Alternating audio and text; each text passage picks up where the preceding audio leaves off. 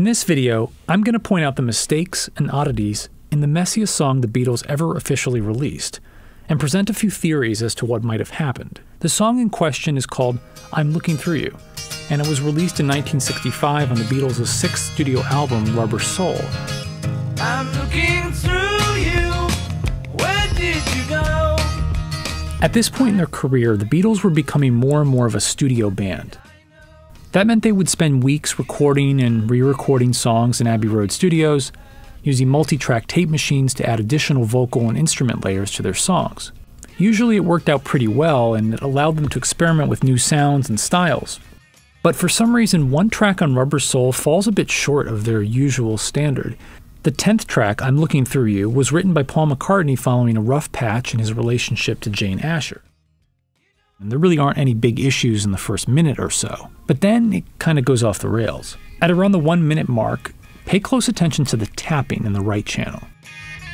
Why, tell me why did you not treat me right? Love has a nasty habit of... Whoever's tapping completely loses the beat and then just abruptly stops. Listen again, this time I've isolated the right channel so you can hear it more clearly. Why, tell me why did you not treat me right? Love has a nasty habit of disappearing. If you're paying really close attention, there's a subtle edit in Paul's lead vocal between the words love has and a nasty habit. Nasty habit. These sorts of mid phrase edits are surprisingly common in Beatles songs. What happened was that the engineer basically stitched two takes of a track together, probably because it was easier to re record one section of the song than redo the entire track from scratch. Then there's the electric guitar, which comes and goes in the right channel throughout the song, playing a few repeated licks with a bunch of random stuff in between. Listen to this section from 105 to around 112. I've isolated the right channel so you can hear it more clearly. Love has a nasty habit of disappearing overnight.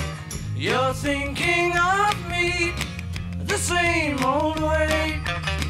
You wear it's like whoever's playing, whether it's George or Paul, is, is not really convinced of the notes that he's playing. They're either out of tune or the wrong notes or both. It happens again noticeably during the chorus at 140. Why, tell me why did you not treat me right? Then at 152, there's two totally random out of tune notes. Did you go?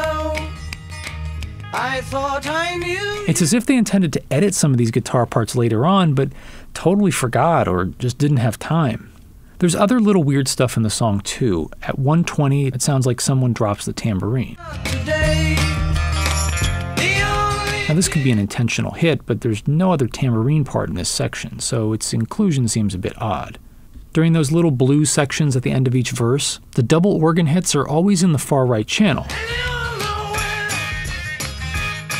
Except at 134 when one clearly ends up in the center.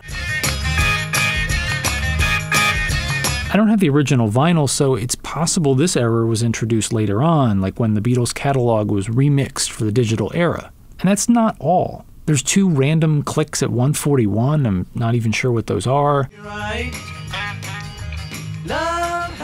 And then at around 157, whoever's playing the snare drum, presumably Ringo, completely misses the snare.